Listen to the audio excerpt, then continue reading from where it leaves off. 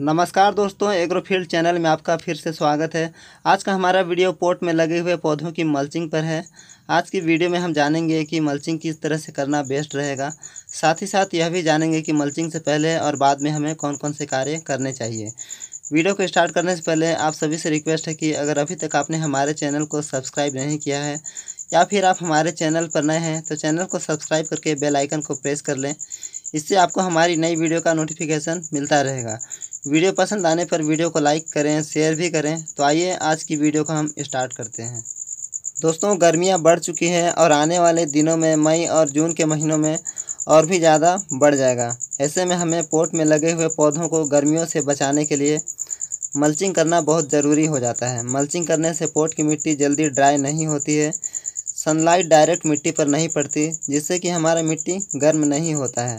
Pot की मिट्टी में ठंडक बनी रहती है।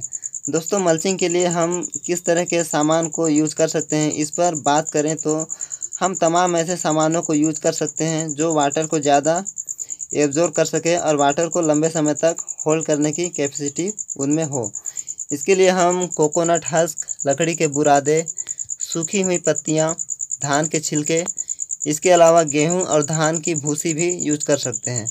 इन सभी में कोकोनट हस्क बेस्ट रहेगा और यह बड़ी आसानी से सभी घरों में मिल भी जाता है। इसलिए मैं भी कोकोनट हस्क को ही यूज़ करूँगा। उससे पहले एक से डेढ़ इंच तक की मिट्टी को हम निकाल लेंगे।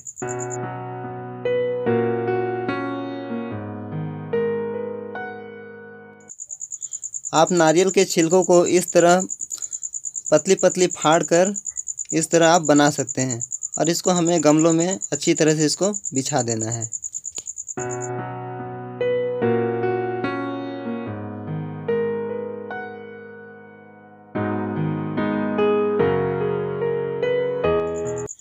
देन हमें इसमें मिट्टी की पतली सी लेयर चढ़ानी है। इससे इसके बीच बीच के गैप भर जाएँगे।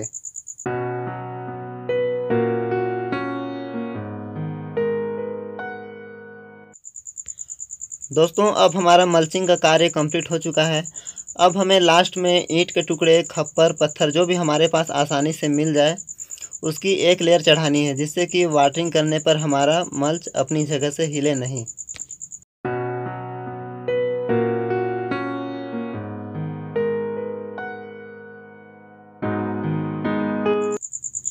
अब हमें इसमें वाटरिंग करनी है। अभी गर्मियों में आप ऊपर से वाटरिंग करें। पौधों की पत्तियाँ पूरी तरह से भीग जाना चाहिए, गीली हो जानी चाहिए। और पत्तियों में जो डस्ट जमा रहता है धुल कर निकल जाए, इससे पौधों को फोटोसिंथेसिस में मदद मिल मिल पाएगी। अपना भोजन आसानी से बना सकेंगे। और और एक बात दोस्तों, आप जो भी खाद फर्टिलाइजर्स पौधों को देना चाहते हैं, वो मल्चिंग से पहले ही कर लें, जिससे मल्च को बार बार हटाने की नौबत ना आए। दोस्तों, इस तरह आज की वीडियो में हमने जाना कि मल्चिंग किस तरह करनी चाहिए और मल्चिंग से पहले और बाद में हमें कौन कौन से कार्य करने चाहिए। उम्मीद करता हूँ दोस्तों, आज की वीडियो के माध्यम से आपको कुछ न कुछ फ़ायदा ज़रूर मिलेगा। वीडियो पसंद आई हो तो वीडियो को लाइक करें शेयर भी करें, चैनल को सब्सक्राइब ज़रूर करें, साथ ही साथ बेल आइकन को भी प्रेस कर लें, जिससे आपको हमारी नई वीडियो का नोटिफिकेशन मिलता रहे। वीडियो को देखने के लिए आपका बहुत बहुत धन्यवाद। Happy gardening